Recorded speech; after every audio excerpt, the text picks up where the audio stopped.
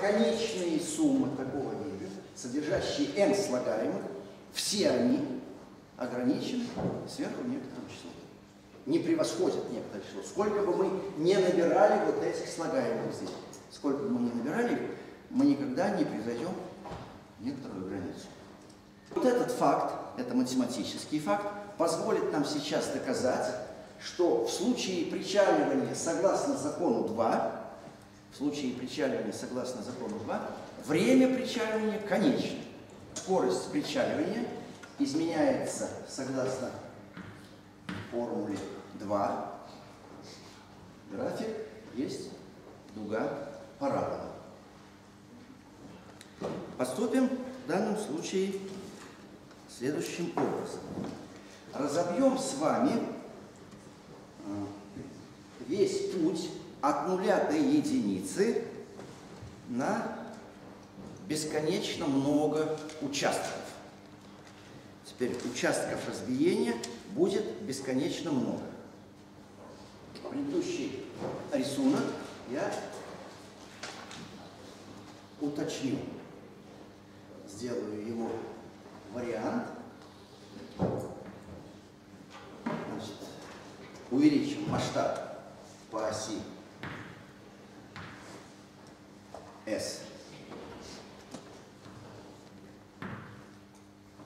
Вот единицу такую нарисую. Увеличим его. А участки пути будут такими сейчас у нас. Первый участок будет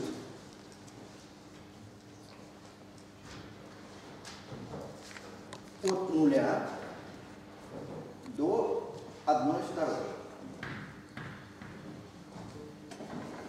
Мне удобно вот одну вторую изображать вот э, не посередине, а вот так. Вот это схематическое будет изображение, условное изображение точек деления. Следующая точка деления – две трети. Следующая точка деления – три четвертых. И так далее. А следующая точка деления, обозначим ее так. k минус 1 разделить на k. Следующая точка, значит, если я точку поставлю, мы опускаем обозначение промежуточных точек деления.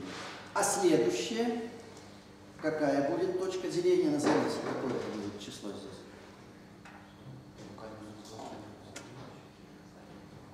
Следующая точка деления, это будет дробь. В числителе что надо написать? Пожалуйста, громче. Почувствовали закономерность? Как я выбираю точки деления на 3? Итак, сверху К.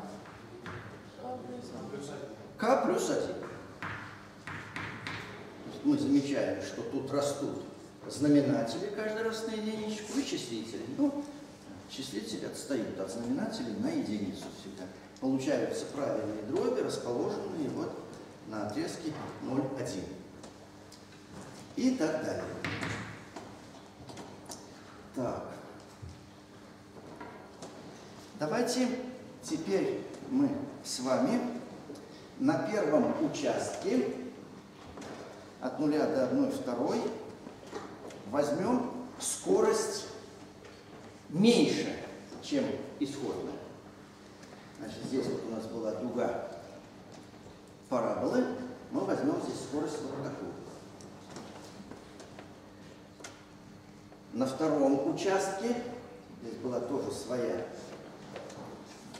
дуга гиперболы, э, параболы, мы тоже возьмем вот так.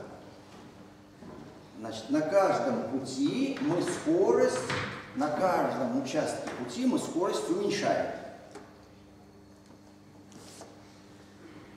Так, и вот здесь, тут у меня не будет соответствия, конечно, я подниму вот следующий э, дугу парада, покажу, не важно, что здесь тоже скорость убывает. И на этом участке вместо переменной убывающей скорости мы рассмотрим движение с минимальной скоростью, имеющейся на этом участке. Вот с такой скоростью.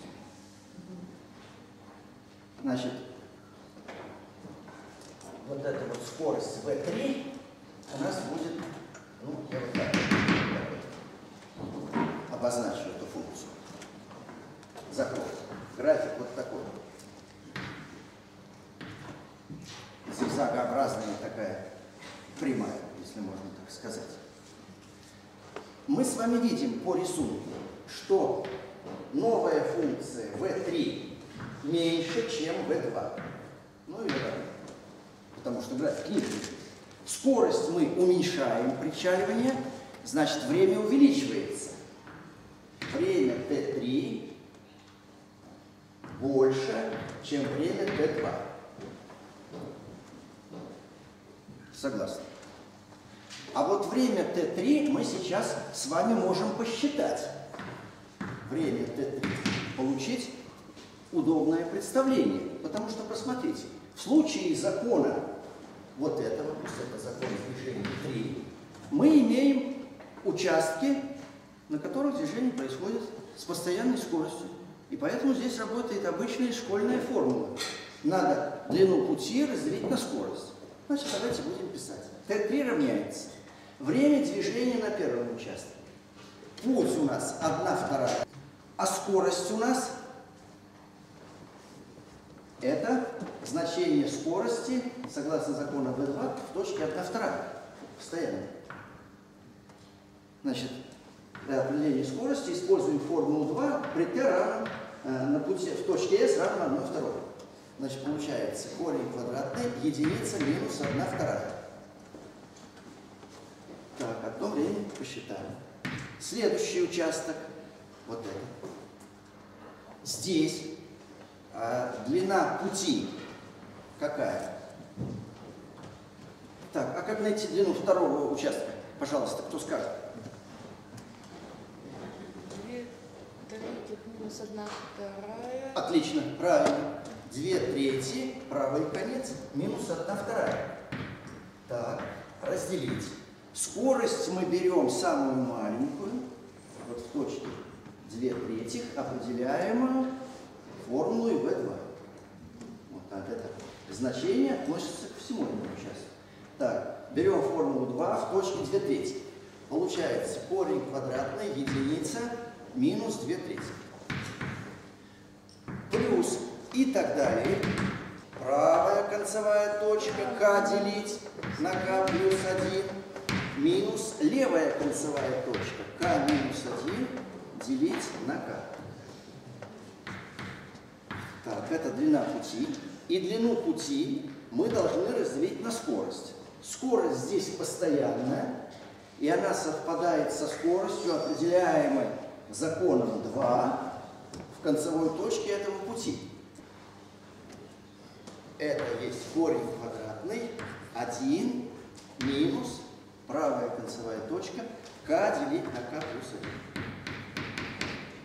1. Плюс и так далее. Вот таких слагаемых здесь будет бесконечно много, да? Потому что участков пути, участков разбиения здесь бесконечно много. Равняется. Опять же, я допускаю здесь некоторую вольность речи э, и некоторую нестрогость, э, чтобы успеть вам рассказать эту суть, суть дела. Значит, посмотрим, что получается. Одна вторая разделить э, так, как тут, что получается? Один на корень из двух. Дальше, плюс. Здесь какая получается разность? Ну, какая-то получается. По-моему, здесь проще обратиться к общему слагаемому. Поэтому давайте я это здесь пропущу, а напишем в точке, каким же будет общий, каков же будет общий вид слагаемого в, в этой сумме. Значит, работаем в скобках скобках знаменатель k умножить на k плюс 1, k умножить на k плюс 1. Посчитайте, что будет в числителе, пожалуйста. Единица. Правильно, я согласен. k в квадрате минус разность квадрата, здесь единица. Разделить, я буду так писать, пока не спеша, чтобы не ошибиться разделить на корень когда мы приведем к общему знаменателю здесь, то под корнем будет единица делить на k плюс 1. Плюс и так далее. Да, вы знаете, здесь лучше работать, э, вот, э, обращаясь к общему слагаемому в этой сумме. Равняется несколько первых слагаемых, которые мы будем выписывать, обращаемся к общему слагаемому. Вот оно. Так, выполняем здесь вот это действие деления, и результат можно записать таким образом. 1 делить на k, да? И что еще в знаменателе будет? Корень из k плюс 1. Плюс и так далее. Опять э, говорю, что здесь э, я ради того, чтобы успеть, не различаю конечные и бесконечные суммы, но я думаю, вы согласитесь со следующим. У нас сумма вот таких слагаемых здесь присутствует. Слагаемые такого вида. Давайте вместо этого слагаемого напишем большее слагаемое.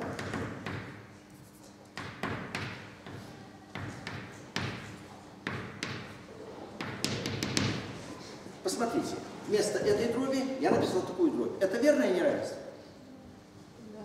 Да, потому что мы знаменатель уменьшили. Знаменатель уменьшили, дробь увеличилась. Вот такое неравенство. Это же неравенство относится и к каждому слагаемому в этой сумме. К каждому слагаемому в этой сумме. А сумма вот таких слагаемых, значит, это что если здесь расписать? Это 1 делить на 1, корень из единицы, плюс 1 разделить на 2, корень из 2, плюс 1 разделить на 3, корень из 3. Вот любая конечная сумма таких слагаемых не превосходит некоторого числа.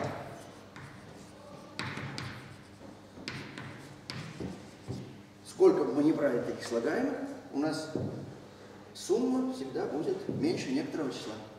Откуда это следует? На доске написано про это? Да. Да, потому что вот эта сумма, это и есть вот обобщенный гармонический ряд. При каком значении показателя S? При каком значении показателя S получается вот эта сумма? Больше единицы. Понятно, что больше единиц, но конкретно при каком значении показателя S? Вот я так пишу. Пока за цель S. В следующий раз, когда если мне придется где-то писать, я буду использовать другой здесь показатель, чтобы он не путался с, с обозначением пути S. Ну хорошо, мы смотрим вот на этот обобщенный гармонический ряд.